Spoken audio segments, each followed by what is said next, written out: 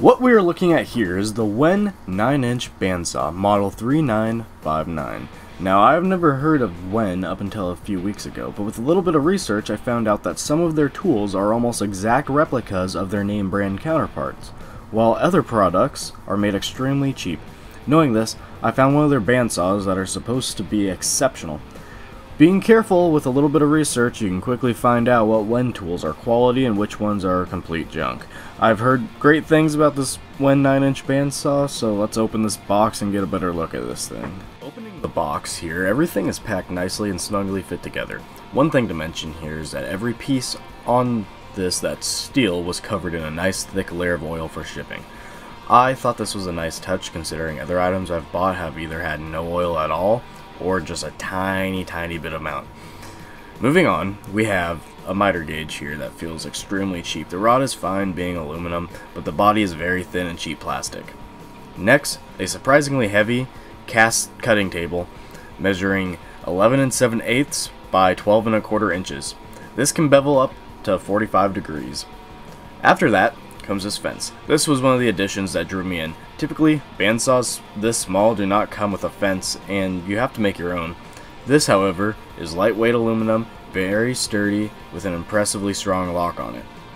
And lastly, on the top section of the box, there are some extra screws and knobs that will be holding the cutting table in place alongside of a couple of Allen keys and a small wrench. The second layer of this box is where the actual saw itself is hidden.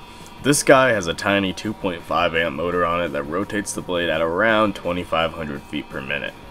The saw takes 59 and a half inch blades. It actually came with a quarter inch blade already installed on it. Now, the wheels on this machine can take blades as small as an eighth inch all the way up to 3 eighths of an inch. Overall, the weight is around 40 pounds, making this a fairly light and portable machine. When taking a closer look at the saw, there are some nice details to make note of. There is a small window directly above the door release so that you can see at all times if your blade is remaining on track without having to actually open the door. I've never seen this before and I thought it was a really cool feature. Next, rather than the traditional single door for both wheel compartments, there are two separate doors that can open and close independently from one another. Both doors are steel instead of plastic and both wheels are aluminum.